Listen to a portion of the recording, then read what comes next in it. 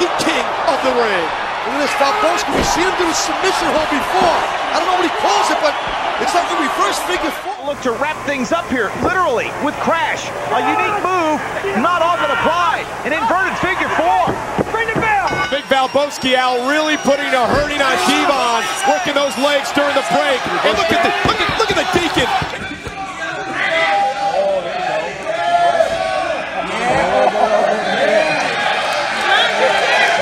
Silver has ripped that leg to the left. He's ripped that leg to the right. figure four, reverse figure four leg lock on Sean. Sean Silver's got it on Johnny Swinger. This, look at it, figure four, right? No? That's an inverted figure four. I'm not sure if that move has a name. Wow. But it means victory. Oh, he scissors those legs, and the hamstring is now exposed. Venis has got him. He's locked in that Venis flytrap. He's going for a leg pump handle leg deal. Oh look. Look out now, submission maneuver. Val Venis Form, but be victorious as well. And here we go now. Val has scored victory with this move, the inverted figure four. Perry Saturn, no. He's got it. He's going to go for the reverse figure four.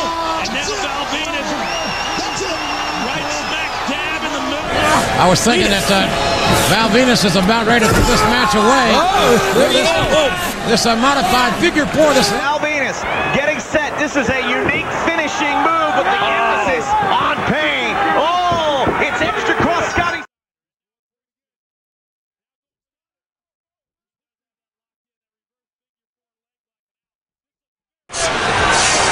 And now Val Venis, he's got Steven Richards oh, ready. No, he's got him in the inverted figure four. There is nowhere. Trying to turn Steven Richards. If he turns it, he's got it.